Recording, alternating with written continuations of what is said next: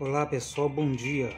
Hoje, dia 23 de 8 de 2021, vamos para mais um vídeo que fala sobre diálogo, diário de segurança do trabalho, cujo tema os critérios de inspeção de segurança em obra e construção, operação manutenção de RDU e RDA, redistribuição aérea e redistribuição urbana a qual hoje atualmente é o meu segmento como técnico em segurança do trabalho.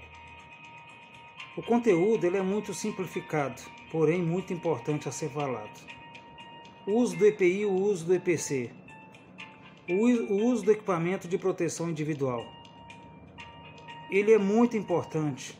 Nós precisamos fazer com que esse equipamento ele, ele seja utilizado de forma segura esse equipamento ele precisa ser utilizado de forma individual quando se trata de EPI e deve ser usado sempre por profissionais que estão inseridos em um processo operacional em atividade operacional, seja ela qual for, principalmente se for uma atividade de risco, uma atividade onde há riscos inerentes e contínua de acidente.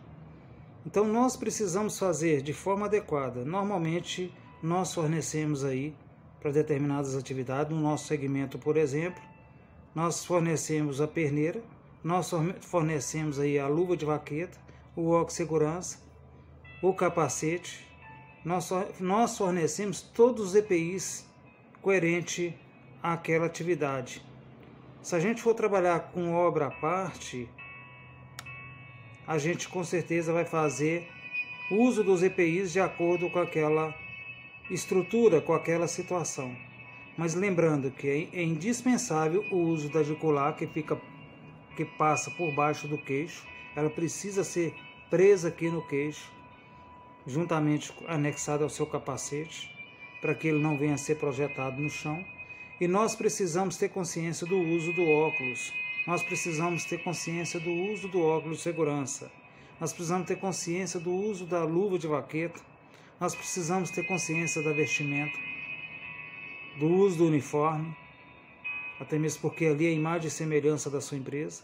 Nós precisamos ter consciência do uso da perneira quando necessário e da botina de segurança conforme especificação via contrato.